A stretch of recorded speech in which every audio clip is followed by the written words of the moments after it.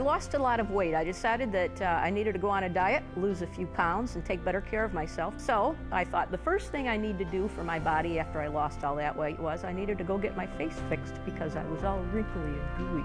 And you fixed my face, and that was exactly the way I used to look.